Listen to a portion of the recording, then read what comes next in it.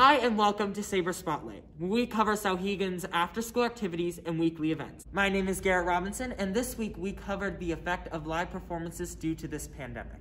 Here at Souhegan High School, our theater department, as well as other surrounding theater companies, put on spectacular live performances that engage and excite audiences throughout New Hampshire.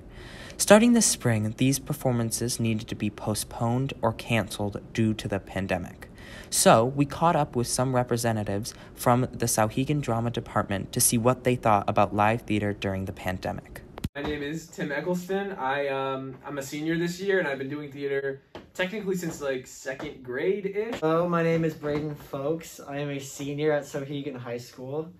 I've been doing theater for four years, and I am an officer in the National Thespian Honor Society. I'm Grace Gianetti. I'm a sophomore and I've been doing theater for eight years. How has theater shaped your life within the past four years?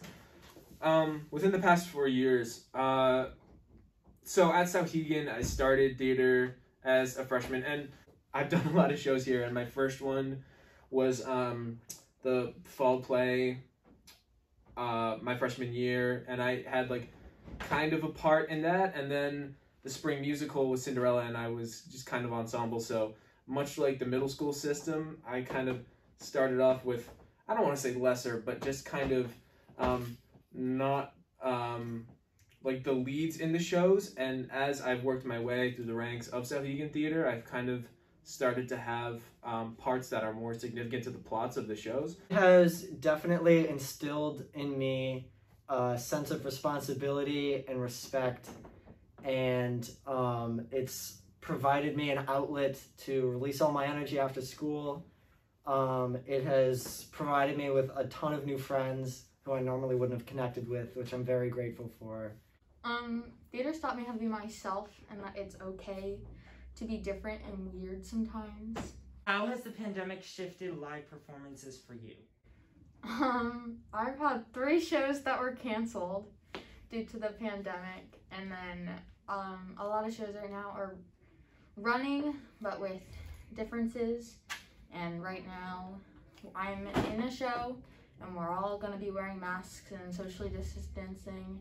It's definitely gonna be different, but hopefully it'll be a similar feeling. Uh, you can't be within six feet of someone. You have to wear a mask whenever you can. Uh, you can't be inside. Um, so we all had to do this for when um, we performed Legally Blonde. Um, and we did it outside.